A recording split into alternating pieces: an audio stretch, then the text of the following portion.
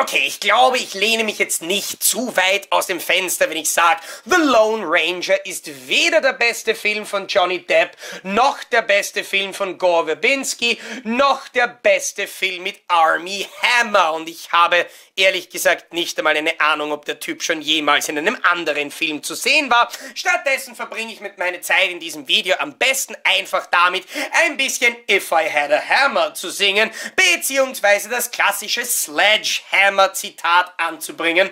Trust me. I know what I'm doing. Aber Disney hat von diesem Film ja bereits damals, als er ursprünglich veröffentlicht wurde, eine Steelbook-Version veröffentlicht und hat allerdings im Zuge des aktuellen äh, 3D Lenticular Steelbook Wahns hier noch eine Neuauflage produziert und deswegen möchte ich im heutigen Video einerseits euch dieses Lenti Steelbook zeigen und andererseits die beiden Versionen ein kleines bisschen vergleichen.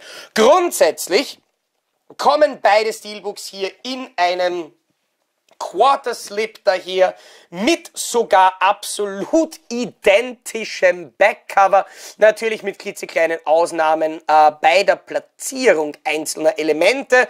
Und ähm, beim Ehrencode. Aber was mir ganz sofort aufgefallen ist, was ein riesenfetter Pluspunkt für das Lenti Steelbook ist, es hat den verdammten Filmtitel am verdammten Spine. Etwas, was für ähm, bei den meisten Disney Steelbooks leider nicht der Fall ist. Dafür haben wir hier einen absolut dezenten Lenti-Effekt. Ich muss aber auch zugeben, dass ein Faktor, warum ich mir dieses Steelbook jetzt günstig bei Zavi noch einmal in die Sammlung geholt habe, der ist, dass mir dieses Frontcover-Artwork eigentlich ziemlich gut gefällt. Wobei ich wirklich auf das Lenti verzichten hätte können. So gefällt mir das Ganze nämlich gleich noch viel besser, vor allem weil man daran gedacht hat, äh, nicht nur die Fensterprägung für das äh, Lenti zu machen, sondern hier dann auch den Filmtitel wieder nach außen zu prägen und außerdem bei einzelnen metallischen Bildelementen wie der Gürtelschnalle äh, und dem Sheriffstern sowie dem Hintergrund hier eigentlich einen ziemlich coolen Steelbook Metallic Effekt eingebaut hat. Also das, das sieht, finde ich, schon recht cool aus. Außerdem haben wir hier noch einmal Johnny Depp auf dem Backcover mit, ähm, teilweise etwas seltsamen Metallic-Effekten im Hintergrund, aber dafür auch diesem Raucheffekt, der eigentlich gar nicht schlecht aussieht, je nachdem, wie man das Steelbook bewegt. In Sachen Coverdesign muss ich allerdings trotzdem sagen, dass auch wenn mir hier diese 3D-Lenti-Version recht gut gefällt, dieses alte Artwork vom alten Steelbook ist aber einfach absolut unübertroffen. Hier beim Vergleich Backcover versus Frontcover gefällt mir zwar auf jeden Fall diese Version besser, aber dieses Front-Artwork ist bei der alten Version einfach unschlagbar.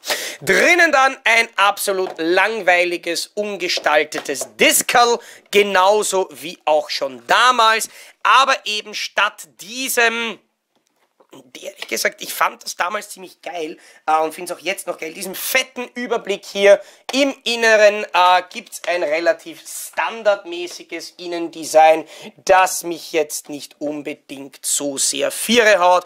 Eben äh, wieder mit etwas Metallic-Effekt im Hintergrund und sonst grundsätzlich einfach nur Johnny Depp auf der einen und Army Hammer auf der anderen Seite. Ich weiß noch, ähm, dass ich damals, als das Steelbook, äh, das erste Steelbook veröffentlicht wurde, das auf meiner Top 10 Liste der schönsten Steelbooks des Jahres hatte, was ich, obwohl es nicht perfekt ist, auch heute immer noch nachvollziehen und unterstützen kann, ist aber definitiv etwas, das jetzt bei dieser Neuauflage nicht passieren wird, auch wenn ich den Kauf gar nicht bereue, vor allem nicht um den reduzierten Preis, um den ich das Ding bekommen habe.